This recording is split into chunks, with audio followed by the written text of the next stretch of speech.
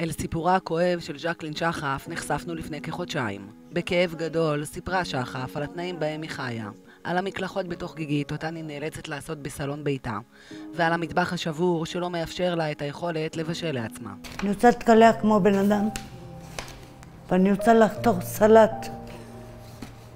לא רוצה בשר. לא רוצה בשר, אני רוצה סלט. להכין מלפון בעגבניה. אז אני חייבת להבין, איפה את מתקלחת? בסלון. מה בסלון? בסלון פה. רצינית?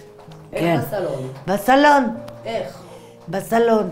לוקחת מים, מחממת קומקום, ולפעמים אני הולכת למקווה. הדברים שסיפרה שחף הצליחו לגעת באנשים רבים, וצבא של מאות מתנדבים החליט להרים את הכפפה ולשנות את המציאות שבה היא חיה. כשאחר שראיתי את הכתבה של הטוקטוק שלכם, ומאוד כאב לי בפנים, בתוך הלב שלי, משהו, באותו לילה חייבתי להגיע לטלפון שלך. על מנת שאני אתרום את המטבח הזה קומפלט. הנכד שלה מדבר איתו בטלפון. הוא, רוצה לבוא אליה. איפה ישנה? איפה היא ישנה ילד? אני מוכן גם לתת לה עוד כסף. לא רק לעשות את השירותים, וגם אני נותן לה כסף. במשך חודשיים שלמים התגייסו אזרחים רבים ועבדו שעות רבות כדי להגיע לתוצאה הבאה.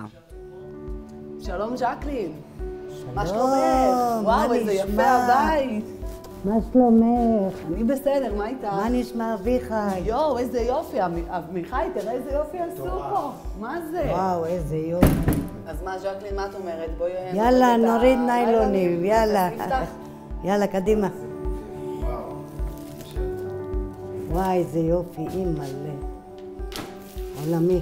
באו לפה סוללות של אנשים מהדרום, מהצפון, מרהט, באר שבע, אשקלון, מהקריות. והנה, הגענו ל...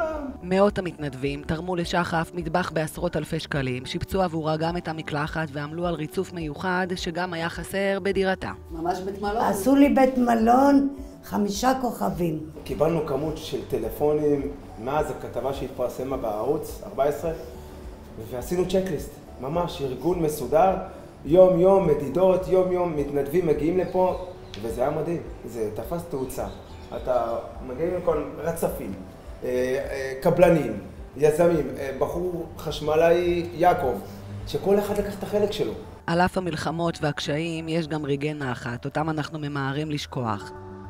זה עוד אחד מאותם רגעים שמוכיחים עד כמה אזרחי ישראל מאוחדים ונמצאים אחד עבור השני ברגעים הקשים.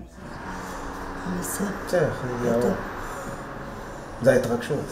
כן, מה שיפה. לא, חשבתי זהו. החיים שלי אבודים. אבל יש תקווה. מי שאוהב את בורא עולם ומי שעושה טוב לאנשים, יהיה לו טוב, לא יפחד. עכשיו, בזכותם, שחף יכולה לעשות את מה שחיכתה לו כל כך הרבה זמן, פשוט לחתוך סלט ולהכין לעצמה ארוחת ערב. תחושה עולמית. כן? כן, אבל uh, עכשיו הכל חדש, אני צריכה קרש חיתוך, חכו. אבל אחלה סלט אני אעשה ואני... זהו, יאללה.